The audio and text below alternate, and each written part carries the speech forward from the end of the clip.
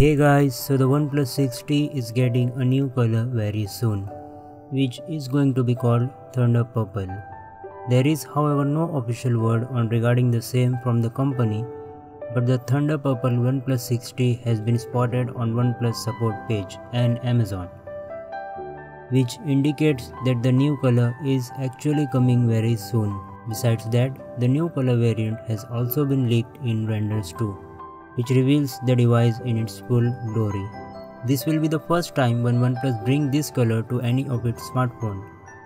Although earlier we have seen OnePlus phone in black, white and red, and OnePlus also launched Star Wars edition for the OnePlus 5T and Avengers edition for OnePlus 6. For the newly launched OnePlus 6T, the company plans to launch a shifting gradient purple color.